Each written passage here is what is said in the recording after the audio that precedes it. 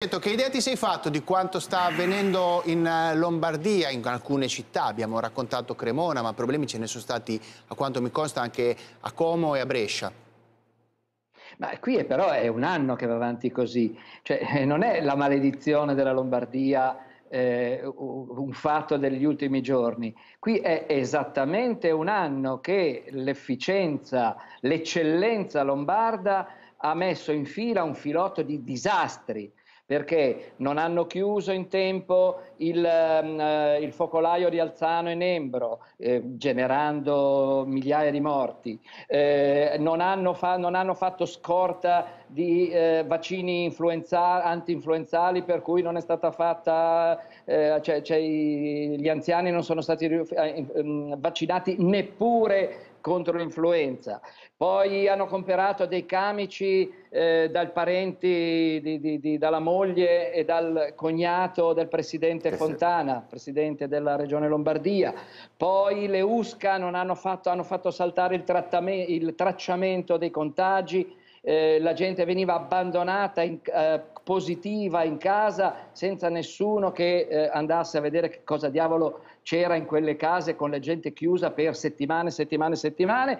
Eh, ora, ora siamo un ospedale in fiera in cui sono stati buttati 20-30 milioni di euro eh, che è servito per eh, boh, 200 persone. Però eh, mi pare cioè che stia, stati... sia stato riaperto Gianni quel, quell'ospedale. È stato riaperto, Magari ne avessero fatte altri. Mandando, mandando però all'ospedale in fiera le, le, i gruppi certo. di eh, infermieri e medici degli altri ospedali, quindi togliendoli agli altri ospedali. Okay. Li lasciavano agli altri ospedali okay. e era uguale. Allora, Dario... un disastro completo. Io se vuoi ti racconto la mia esperienza, perché siccome non ci credevo, allora... che dopo un anno, perché capisco curioso. Alzano, prego, e prego. Nembro, Alzano e Nembro, vabbè, non erano pronti e hanno fatto il disastro Gallera, colpa, tutta colpa di Gallera e adesso l'hanno cacciato. Ma non è così, perché un anno dopo le, la, la, il disastro continua. Allora io venerdì che cosa ho fatto?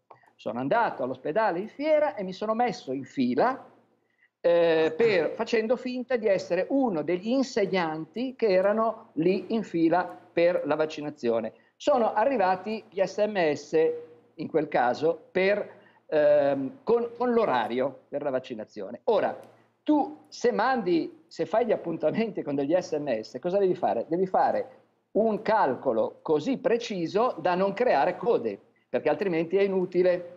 Tu affolli certo. eh, centinaia e centinaia di persone in code, in ambienti ristretti, che eh, sono esattamente un, una, un rischio per chi va lì.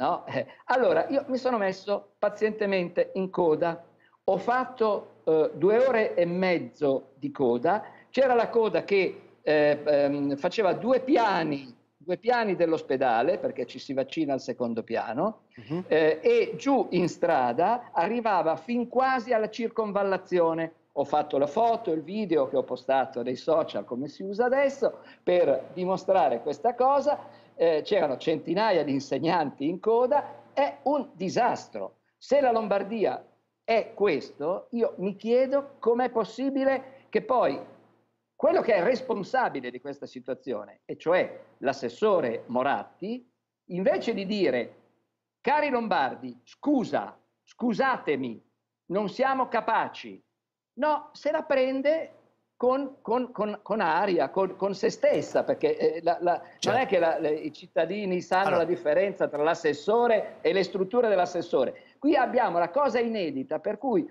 allora. assessore se la piglia con la sua struttura allora, e dà la colpa, scarica sui dipendenti. Allora, adesso, adesso se un ministro dicesse allora, il eh... mio ministero fa schifo, dimettiti se fa schifo, dimettiti. Allora, ci fermiamo.